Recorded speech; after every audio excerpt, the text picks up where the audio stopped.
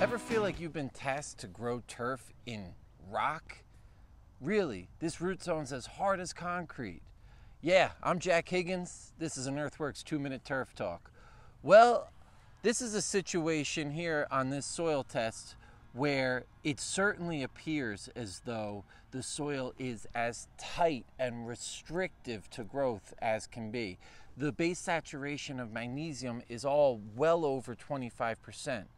Interestingly enough, I returned this soil analysis to the customer and he said, Well, actually, your comments really match up with our experience. We tried to aerify this field last week and we busted the tines on our aerification machine, on our aerifier. Uh, really, the aerifier really broke.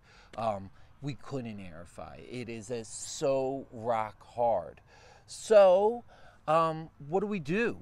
Well, we react to the soil test. You know, we see what's what what's deficient, and in this case, it's calcium.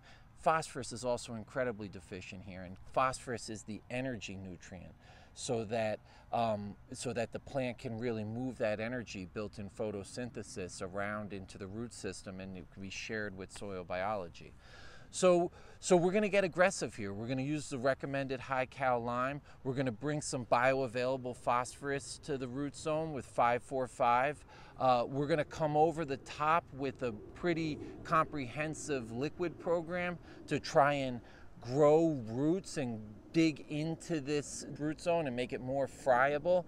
And will attempt, after being aggressive with the recommended amendments and fertilizers, to aerify again, at which point we'll get even more amendment down into the root zone and really open this soil up.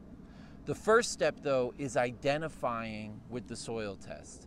And I just wanted to share this because it's, it's awfully nice to get that kind of feedback where what I'm seeing on paper does match up with the experience in the field. All the best. Keep in mind, it might seem as hard as a rock, but you can react to it and make some changes.